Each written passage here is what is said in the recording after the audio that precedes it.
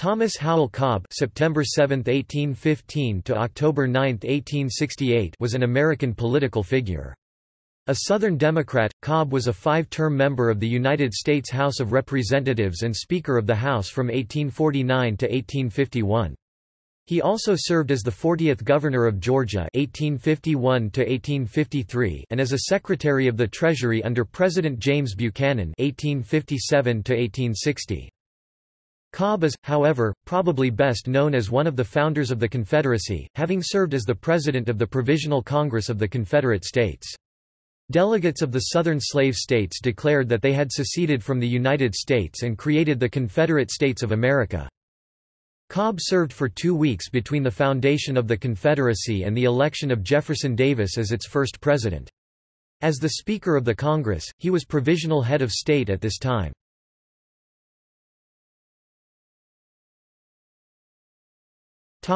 Early life and education Born in Jefferson County, Georgia in 1815, son of John A. Cobb and Sarah Roots Cobb, Cobb was raised in Athens. He attended the University of Georgia where he was a member of the Phi Kappa Literary Society. He was of Welsh American ancestry. He was admitted to the bar in 1836 and became Solicitor General of the Western Judicial Circuit of Georgia. He married Mary Ann Lamar on May 26, 1835. She was a daughter of a Lamar family with broad connections in the South they would have eleven children, the first in 1838 and the last in 1861. They were John Addison, Zachariah Lamar, Howell, Henry Jackson, Basil Lamar, Mary Ann Lamar, Laura Roots, Sarah, Andrew Jackson, Elizabeth Craig, and Thomas Reed Roots Cobb. Several did not survive childhood, including their last, a son who was named after Howell's brother, Thomas Reed Roots Cobb.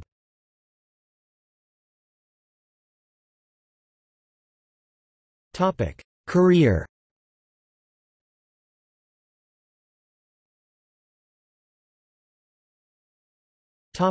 Congressman He was elected as Democrat to the 28th, 29th, 30th and 31st Congresses. He was chairman of the U.S. House Committee on Mileage during the 28th Congress, and Speaker of the United States House of Representatives during the 31st Congress. He sided with President Andrew Jackson on the question of nullification i.e. compromising on import tariffs, and was an effective supporter of President James K. Polk's administration during the Mexican-American War. He was an ardent advocate of extending slavery into the territories, but when the Compromise of 1850 had been agreed upon, he became its staunch supporter as a Union Democrat. He joined Georgia Whigs Alexander Stephens and Robert Toombs in a statewide campaign to elect delegates to a state convention that overwhelmingly affirmed, in the Georgia platform, that the state accepted the compromise as the final resolution to the outstanding slavery issues. On that issue, Cobb was elected governor of Georgia by a large majority.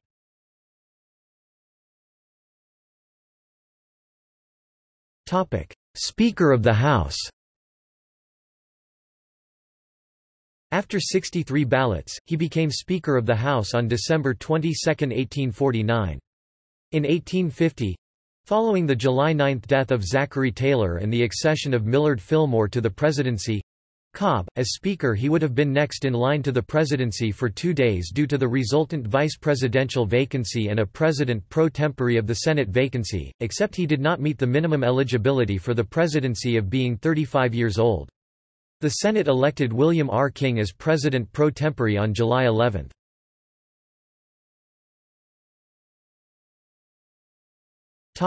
Governor of Georgia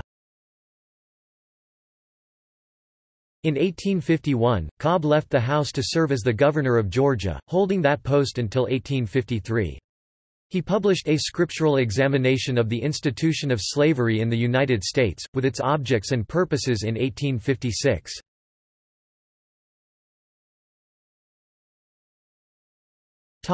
Return to Congress and Secretary of the Treasury He was elected to the 34th Congress before being appointed as Secretary of the Treasury in Buchanan's cabinet. He served for three years, resigning in December 1860.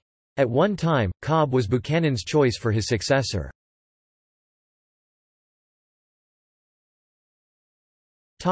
A founder of the Confederacy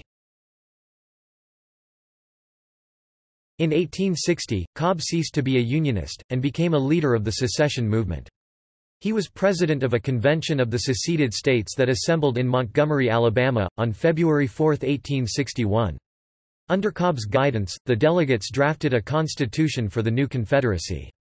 He served as president of several sessions of the Confederate Provisional Congress, before resigning to join the military when war erupted.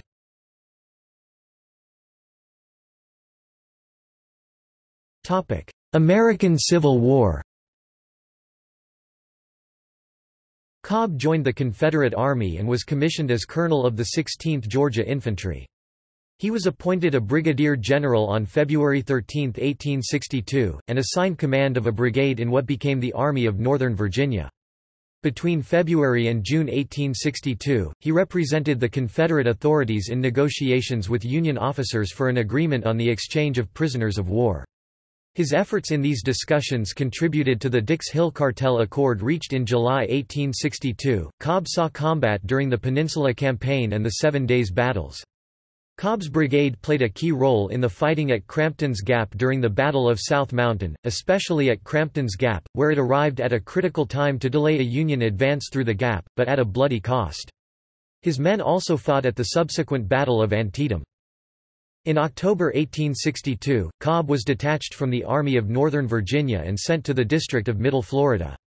He was promoted to Major General on September 9, 1863, and placed in command of the District of Georgia and Florida.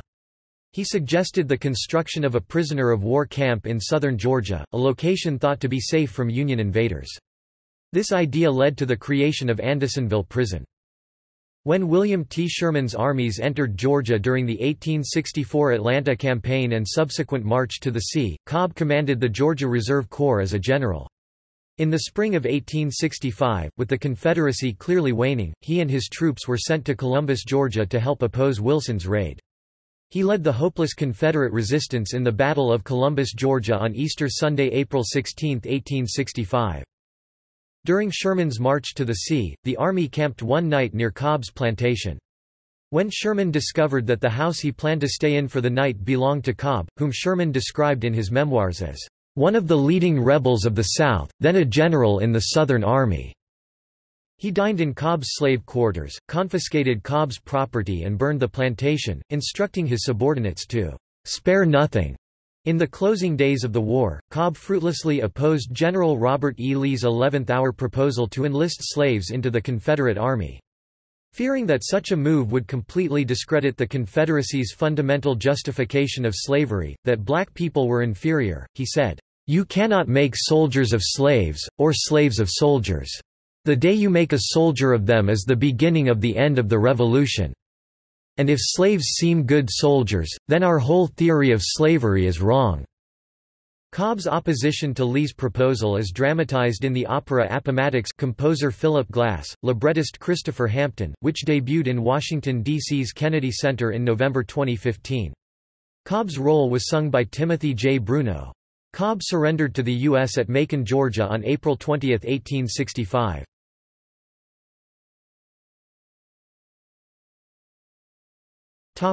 Later life and death Following the end of the Civil War, Cobb returned home and resumed his law practice. Despite pressure from his former constituents and soldiers, he refused to make any public remarks on Reconstruction policy until he received a presidential pardon, although he privately opposed it. Finally receiving the pardon in early 1868, he began to vigorously oppose the Reconstruction Acts, making a series of speeches that summer that bitterly denounced the policies of radical Republicans in the U.S. Congress. That autumn, Cobb vacationed in New York City, and died of a heart attack there.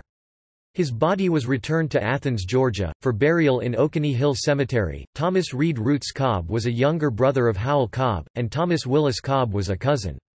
His uncle and namesake, Howell Cobb, had been a U.S. congressman from 1807 to 1812, and then served as an officer in the War of 1812. A niece was Mildred Lewis Rutherford.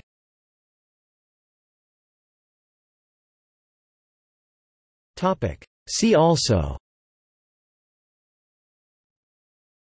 List of signers of the Georgia Ordinance of Secession List of American Civil War generals Confederate Notes